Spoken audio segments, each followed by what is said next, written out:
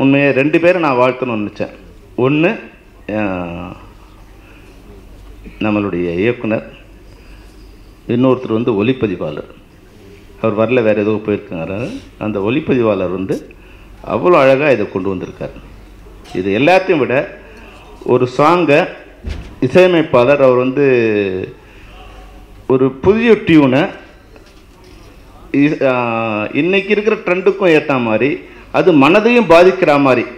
மிக அழகாக நாங்கள் வந்து ஒரு மூணு பாட்டு பார்க்கும்போது உண்மையாகவே வந்து இந்த பாடல்களை பார்க்கும்போது திரைக்கு வந்து இந்த படத்தை திரையில் பார்க்கணுங்கிற ஒரு எண்ணத்தை தோற்று வச்சிருக்கு. அதுதான் வந்து இந்த இசையமைப்பாளரோட மிகப்பெரிய வெற்றி. சில நேரங்களில் வந்து நடக்கும் அவமானங்கள் தான் இன்றைக்கி நமக்கு இந்த மேடையில் நம்ம நிற்க வைக்கிறதுக்கு முதல் காரணம் யாருன்னா அவமானங்கள் தான். அவமானங்கள் தான் மனிதனை வந்து தலைவனாக்குது இல்லை இயக்குனராக்குது இசையமைப்பாளராக்குது வெற்றியாளனாக்குது. அவமானப்படாத எவனும் வாழ்க்கையில் வெற்றி பெற முடியாது. அதனால் உங்களுக்கு ஏற்பட்ட அவமானங்கள் உங்களை வெற்றியாளனை ஆக்குற வரைக்கும் அது விடாது உங்களை துரத்துக்கிட்டே இருக்கும். ஒன்று வெற்றி ஆயிட்டீங்கன்னா உங்களுக்கு மேடைகள் சர்வசாதாரணமாக உங்களுக்கு மேடைகள் காத்துக்கிட்டே இருக்கும். அதனால் நீங்கள் தொடர்ந்து அவமானங்களை பரிசாக எடுத்துக்கிட்டு நீங்கள் பயணிச்சுட்டே இருக்க வேண்டியது தான் நான் மரிய முனவருக்கு கொடுக்குற ஒரு அறிவுரையாக நீங்கள் எடுத்துக்கணும். மற்றபடி இங்கே எல்லோரும் பேசினாங்க. இன்றைக்கி திரைப்படத்துறையில் இருக்கிற கஷ்ட நஷ்டங்கள் எல்லோரும் பேசினாங்க. நான் ஏறக்குறைய பேசி பேசி பேசி ஓஞ்சி போயிட்டேன் நான் வந்து. ஏன்னா புதுசாக ஒரு விஷயத்த சொல்லலாம். எவ்வளோ தடவை தான் சொல்கிறது நாங்கள் வந்து? முதல்ல வந்து இதை முனைப்படுத்தி தய செயல்படுத்த வேண்டியது தயாரிப்பாளர்கள் தான். ஒரு தொழில் பண்ணுற முதலாளி தான் அந்த தொழிலை வந்து சரியாக வந்து பாதுகாக்கணும் அதை சரிப்படுத்த வேண்டும் நிலை இருக்கணும் இப்போ இங்கே என்னன்னா பேசும்போது சொன்னாங்க. இங்கே சரியான வழி எதுங்கிறது தெரியாமல் போயிடுது. எது சரியான வழி? யார் எதிரி? யார் நண்பன்? ராஜன் சார் சொன்னார் அவர் அவர் வந்து உண்மையிலேயே மூணே கால் கோடி விட்டுருக்கேன்னு சொன்னார். அவர் மிகச்சிறந்த மனிதன். ஏன்னா ஒரு தடவை நம்ம வந்து டைரக்டர் பையனுக்கு ஒருத்தருக்கு ஸ்கூல் ஃபீஸ் வேணும். அண்ணா இது மாதிரி கொஞ்சம் பையனுக்கு உதவி பண்ண முடியுமான்னு கேட்டேன். நான் பண்ணுறப்பான்ட்டார் நான் ஒரு நாலஞ்சு நாள் கழிச்சு மறுபடியும் வந்து அண்ணே எப்போ வர்றதுண்ணே தம்பி நான் உங்கள் யூனியன் காமிச்சிட்டப்பான்னு சொன்னார். இந்த இருபத்தி அதுவும் இந்த முப்பது வருஷத்தில் ஒருத்தர் டொனேஷன் கேட்டு நம்ம போய் வாங்கியிருக்கோம். நம்ம யூனியன் தேடி வந்து கொடுத்த ஒரே ஆள் வந்து நம்ம கே ராஜன் தான். ஆனால் அவர் கொடுத்த மூணே கால் கோடியில் மூணு கோடி வந்து ஏமாற்று பெறுவர்கள் தான் போய் சேர்ந்துருக்கும். ஏன்னா அதுதான் இங்கே இருக்கிற நிலைமை. இப்போ அவர் ஒரு விஷயம் சொல்லும்போது சொன்னார் தம்பி செல்வமணி நான் ஆயிரம் பெரிய படத்து வாங்குறீங்க நான் எட்நூறுரூவா கொடுக்குறேன்.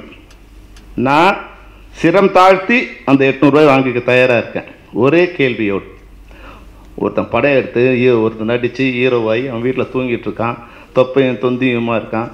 ஒரு டைரக்டர் அவனை கஷ்டப்பட்டு கொண்டு வந்து மறுபடியும் அவனை நடிக்க வச்சு அந்த ஒரு படம் ஓடிடுச்சு. உடனே மறுபடியும் கொ- மறுநாள் கொண்டு போய் நீ மூணு கோடி ரூபாய் அவன்கிட்ட கொடுக்குறியே. அப்போ யோசிச்சியா இந்த விஷயத்த? அந்த விஷயத்தை யோசிச்சியா? அவனுக்கு தகு மூணு கோடி கொடுக்க தகுதி இருக்கான்னு யோசிச்சியா? ஆயிரம் ரூபாய்க்கு இவ்வளோ கஷ்டப்படுற ஆயிரம் ரூபாய்க்கு இவ்வளோ யோசிக்கிற நீங்கள் தகுதியே இல்லாத ஒருத்தருக்கு நீ மூணு கோடியும் இவன் நாலு கோடியும் கொடுத்து படம் எடுக்க இருக்கும்போது அந்த எதிரி யாருன்னு தெரியாமல் இருக்கிறது தான் இங்கே மிகப்பெரிய வேதனை. அதுதான் இந்த திரைப்படம் கொண்டா- சரியா வராமல் போறதுக்கு காரணம் அதுதான். இன்னைக்கு நான் மறைய சொல்லியிருக்கேன் முந்நூறு கோடி ரூபாயில் இருந்த இன்னைக்கு தமிழ் திரைப்படம் மூணாயிரம் கோடி ரூபாயை வருமானத்தை சென்றடைந்திருக்கிறது. அப்போ பத்து மடங்கு வருமானம் உயர்ந்திருக்கிற போது தயாரிப்பாளர்களோட வருமானம் உயர்ந்திருக்க வேணும். ஆனால் பத்து தயாரிப்பாளர் நல்லா இருந்த இடத்துல இப்போ ஒரு தயாரிப்பாளர் கூட நல்லா இல்லாத நிலை தான் இருக்குது அன்னைக்கு நாங்கள் படம் எடுக்கும்போது நூறு தயாரிப்பாளர்கள் இருந்தால் அதில் பத்து தயாரிப்பாளர் மிக நல்லா இருந்தாங்க. நாற்பது தயாரிப்பாளர் பரவாயில்லாமல் இருந்தாங்க. ஆனால் இன்னைக்கு நூறு தயாரிப்பாளரும் கஷ்டப்படுகிற ஒரு சுச்சுவேஷன் தான் இன்றைக்கி இருக்குது அதுக்கு யார் காரணம்? வருமானம் இல்லாமல் போயிடுச்சா? வருமானம் கம்மியாயிடுச்சா? வருமானம் அதிகமாக இருக்குது என்ன காரணங்கிறத நீங்கள் இது போன்ற விஷயங்கள் தான். கண்மூடித்தனமாக ஒருத்தர் தகுதி இல்லாத ஒருத்தருக்கு நீங்கள் மூணு கோடி கொடுத்துட்டு உழைக்கிற ஒருத்தனுக்கு ஆயிரம் ரூபா கொடுக்கும்போது எட்நூறுரூவா கொடுக்கணும்னு சொன்னால் அதுக்கும் நான் தயார். உழைக்கிற எல்லாருக்கும் சரியான ஊதியம் கொடுக்கப்படுகின்ற ஒரு விஷயத்தை நீங்கள் கொண்டு த- தமிழ் திரைப்படத்திற்கு கொண்டு வந்துட்டா நிச்சயமாக பெரிய படத்துக்கு உள்ள சம்பளம் சின்ன படத்துக்கு உள்ள சம்பளம் நாங்கள் தயார். ஆனால் சம்பளம் பேசும்போது நீங்கள் இப்போ சின்ன தயாரிப்பாளர் காமிச்சு சம்பளத்தை குறைக்கிறீங்க. ஆனால் அதனோட பயனை யார் அனுபவிக்கிறாங்கன்னா பெரிய தயாரிப்பு தான் அனுபவிக்கிறாங்க இல்லை பெரிய திரைப்படங்கள் இருக்கணும் அனுபவிக்கிறாங்க. அப்போ நீங்கள் ஒரு ஸ்லாப் கொடுங்க சார் ரஜினி சார் படத்துக்கு இது மாதிரி சம்பளம். ராம்கி படத்துக்கு இது மாதிரி சம்பளம். இப்போ இது மாதிரி நியூ ஃபேஸ் வச்சுருக்க படங்களுக்கு இது மாதிரி சம்பளம். நிச்சயமாக எடுத்துக்கலாம். அது இல்லை. அதையெல்லாம் நீங்கள் சரி பண்ணுங்கள் நிச்சயமாக இண்டஸ்ட்ரி சரியாகும். ஏன்னா நான் மறுபடியும் மறுபடியும் திரும்ப திரும்ப நான் சொல்லியிருக்கேன். இந்த திரைப்படத்துறையை யாரும் அழிக்க முடியாது. இந்த திரை கொட்டைகளும் யாரும் அழிக்க முடியாது. ஆனால் இதை வ இது ஒழுங்குபடுத்தலைன்னா இதன் வருமானம் திரைப்படத்துறையில் ஒரு பிரிவினருக்கு போய் சேர்ந்துடும் இப்போ எல்லாம் பாருங்க நீங்கள் எதையெல்லாம் நஷ்டமே இல்லாத தொழில் திரைப்படத்துறையில் எதெல்லாம் நஷ்டம் இல்லாத தொழில் இதையெல்லாம் திரைப்படத்துறைக்கு சம்பந்தம் இல்லாதவங்க செ- செஞ்சுட்டு இருப்பாங்க எது நஷ்டம் இல்லாத தொழில்? பாப்கார்ன் விற்கிறது டிக்கெட் புக் பண்ணுறது ஒரு டிக்கெட் போய் வந்திருக்கு நீங்கள் பண்ணியிருப்பீங்க ஒரு டிக்கெட் புக் பண்ணுவீங்க. ஆனால் இன்டர்நெட்டில் புக் பண்ணுவீங்க? ஒரு சாஃப்ட்வேர் கண்டுபிடிச்சி ஒரு டிக்கெட் புக் பண்ணுறதுக்கு ஐம்பது காசு செலவாகும். ஆனால் எவ்வளோ கலெக்ட் பண்ணுறாங்க முப்பது ரூபா கலெக்ட் பண்ணுறாங்க ஒரு நாளைக்கு எவ்வளோ படம் பார்க்குறாங்க பத்து லட்சம் பேர் குறைஞ்சபட்சம் படம் பார்க்குறாங்க அப்போ நீங்கள் கணக்கு போட்டுங்க. முப்பது லட்சத்துக்கு சாரி பத்து லட்சத்துக்கு ஒரு நாளைக்கு முப்பது ரூபான்னா ஒரு ஷோக்கு எவ்வளோ பணம் வருது? ஒரு நாளைக்கு எவ்வளோ பணம் வருது? எத்தனை கோடி? இந்த இந்த இது வந்து நஷ்டமில்லாத தொழில். இந்த தொழில் யார் பண்ணுறாங்க திரைப்படத்துறைக்கு சம்பந்தம் இல்லாத பண்ணுறாங்க இது போன்ற பல்வேறு விஷயங்கள். இன்றைக்கி ஒரு திரைப்படம் உதயகுமார் அண்ணா சார் மிக சரியாக சொன்னார். ஒரு திரைப்படம். எல்லா விஷயத்திலும் இன்னைக்கு ஹேண்ட்ஃபோன்ல இருந்து டிவியில இருந்து நெட்ல இருந்து சிஸ்டத்துல க விமானத்துலேருந்து எல்லாத்துலேயும் படம் பார்க்குறாங்க ஆனால் நமக்கு அதெல்லாம் தெரியவே தெரியாது. அதை தெரிஞ்சுக்க ஒரு அமைப்பும் நமக்கு இருக்காது. நமக்கு தெரிஞ்சதெல்லாம் சார் தேட்டர் கிடைக்கல தேட்டர் கிடைக்கல தேட்டர் கிடைக்கல. ஹாலிவுட்டில் ப்ராஜெக்ட்ஸ் ரெடி பண்ணும்போது இந்த படம் தேட்டருக்கான இந்த படம். இந்த ஒரு படம் தயாரிப்பான். அந்த படம் தேட்டருக்கான படம் இல்லை. அது டிஜிட்டலுக்கான திரைப்படம் அது திரைப்படம் அந்த படம் ஒன்றும் கம்மியாக இருக்காது. அதுவும் ஐநூறு கோடி ஆயிரம் கோடி தான் எடுப்பாங்க. ஆனால் அதையெல்லாம் மிகச்சரியாக சரியாக அவங்க வந்து பிளான் பண்ணி எந்தெந்த படத்தில் எது எது வகையான வருமானங்கிறத அவங்க சரி பண்ணிப்பாங்க. இங்கே என்னன்னா எதுவுமே காசு இல்லாமல் எல்லாரும் பஜனை பண்ணிட்டு இருப்பாங்க. தயாரிப்பாளர் ஒரு பட படத்தை யாரும் காசு கொடுக்காம எல்லாம் என்ஜாய் பண்ணிகிட்டு இருப்பாங்க. ஒன்றை திருட்டுத்தனமாகவோ இல்லை வந்து பப்ளிசிட்டிங்கிற பேர்லையோ இல்லை எ- தெரியாமலோ. இது வந்து கண்காணித்து இதை ஒழுங்கு ஒழுங்கு பண்ணுறதுக்கு சங்கங்கள் கொஞ்சம் செயல்படலாம். அரசாங்கம் கொஞ்சம் செயல்படணும். அரசாங்கம் அது மாதிரி செயல்படுதா? நான் யாரையும் குறை சொல்ல விரும்பலை. எங்கள் துறை பாதிக்கப்படும் போது இதை பாதுகாக்க வேண்டிய இடத்துல இருக்கிற அரசாங்கத்தை அதை வந்து பிஜேபியாக இருக்கட்டும் காங்கிரஸாக இருக்கட்டும் டிஎம்கேவாக இருக்கட்டும் ஏடிஎம்கேவாக இருக்கட்டும் இந்த திரைப்படத்துறையை பாதுகாக்க வேண்டிய ஒரு இடத்துல இருக்கிற ஒரு அரசை பார்த்து கேட்கின்ற ஒரு கேள்வி தான் நாங்கள் இதை பாதுகாக்கிறீங்களா நீங்கள் இந்த திரைப்படத்துறையை பாதுகாக்கின்றீங்களா? இல்லையே. இது எல்லாராலையும் களவாடப்படுது. களவாடப்படுவதற்கு அரசே ஒரு காரணமாக இருக்குது அதை கா அதை சீர் பண்ணி எங்கள் துறையை காப்பாற்றினீங்கன்னா இங்கே தயாரிப்பாளர்களில் நூறு பேரில் அறுபது பேர் லாபகரமாக தொழில் பண்ணலாம். சிறந்த திரைப்படங்கள் எடுத்தால் அதை லாபகரமாக வெளியிடுறதுக்கும் அந்த வருமானம் திரைப்படத்துறைக்கு வந்து செய்வதற்கும் ஒரு வழி இருக்குது ஆனால் அந்த அங்கீகாரத்தை நீங்கள் எங்களுக்கு கொடுக்கவே இல்லையே? திரைப்படத்துறை சம்பந்தம் இல்லாமல் ஒருத்தர் படம் பண்ணும்போது இந்த விருதுகள் கூட எங்கே போய் சேருது? விருதுகள் எங்கே போய் சேருது பாருங்க. இப்போ பாரம் ஒரு திரைப்படத்துக்கு மா விருது வழங்கியிருக்கு மத்திய அரசு. இந்த பாரம் திரைப்படத்தை யார் எடுத்தது? யார் பார்த்தது? யார் அங்கீகாரம் பண்ணது? தமிழக மக்களால் அங்கீகாரம் பண்ணப்பட்ட படங்களுக்கு எதுவுமே வந்து விருதுகள் இல்லை. திரைப்படத்துறையால் அங்கீகாரம் செய்து தயாரிக்கப்பட்ட திரைப்படங்களுக்கு எந்த விருதும் இல்லை. ஆனால் பாரம்ங்கிற ஒரு படத்துக்கு விரைவு வந்திருக்கு. அந்த பாரத்துக்கு விருது வழங்கு சரியா தவறா? அந்த பாரம் திரைப்படம் நல்ல படமா கெட்ட படமாங்கிறத நான் விமர்சிக்க விமர்சிக்கல.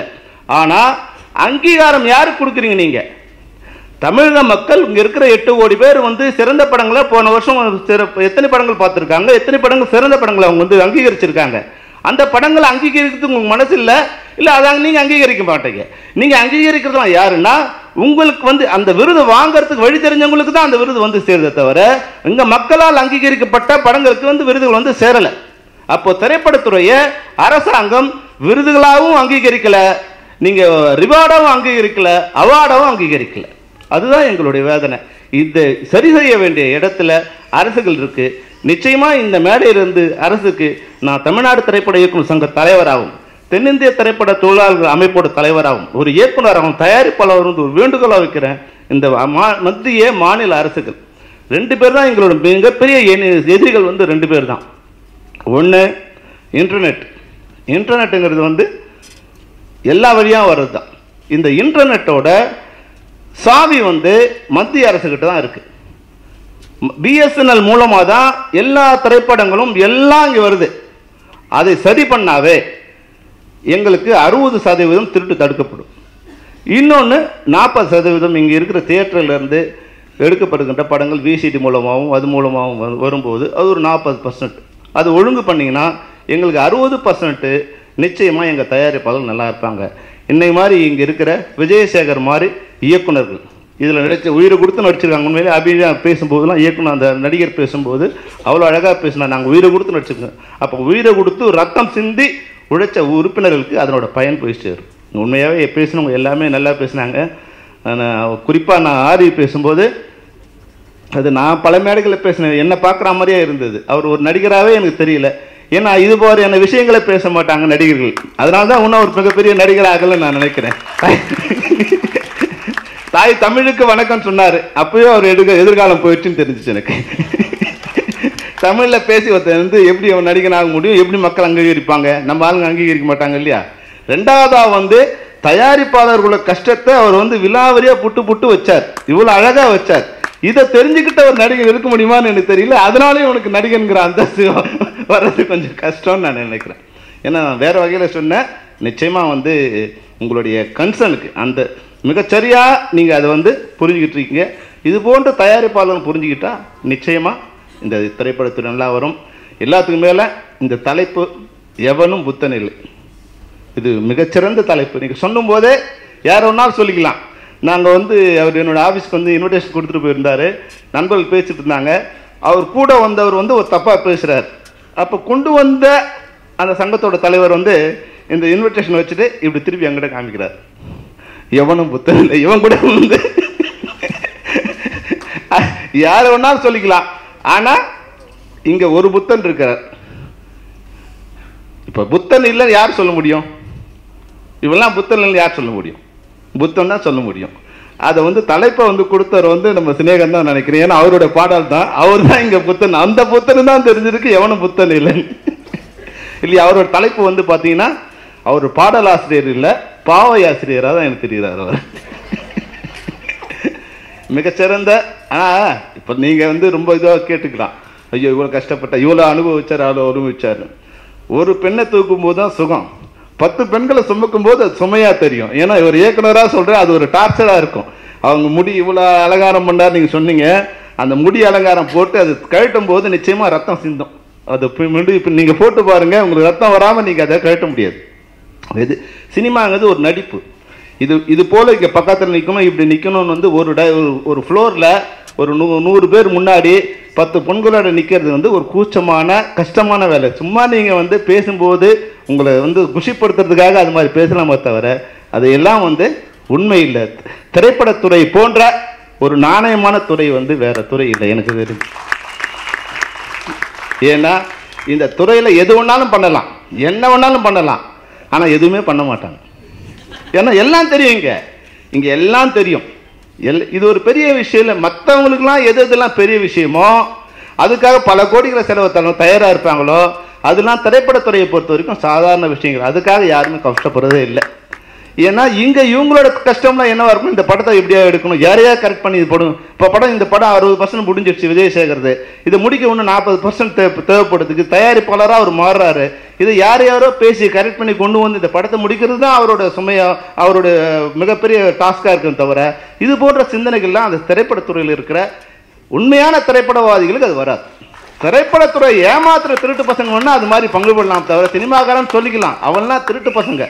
இங்கே திரைப்படத்துறையிலே திரைப்படத்துறையை நேசிக்கிற எவனுமே இது மாதிரி தப்பு செ- பண்ண மாட்டாங்க தான் என்னோட கருத்து. நாங்க அப்படிதான் இருக்கோம். இந்த மேடை இருக்க அனைவருமே அப்படிதான் இருக்கும். அதனால் அது ஒரு வேண்டுகோளாகவும் ஒரு கருத்தாக உங்களுக்கு முன்வைக்க விரும்புகிறேன் விஜயசேகரனுக்கும் அவருடைய குழுவிற்கும் இந்த படம் வெற்றி அடைய வேண்டும். வெற்றி அடைந்து விருதுகளும் அவார்ட் அண்ட் ரிவார்ட் பணமும் வரணும் விருது வரணும்.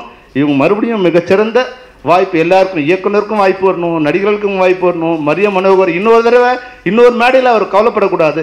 எப்படி ஏர் ரகுமானுக்கு ஒரு அங்கீகாரம் கிடைச்சிருக்கோ அது மாதிரி மரிய மனோகர் வரும்போது மனோகரை கூப்பிடுங்க மனோகரை கூப்பிடுங்க கூப்பிட்டு மேடை ஏற்றுற ஒரு காலம் வர வேண்டும் என்று வாழ்த்து விடைபெறுகிறேன். நன்றி வணக்கம்.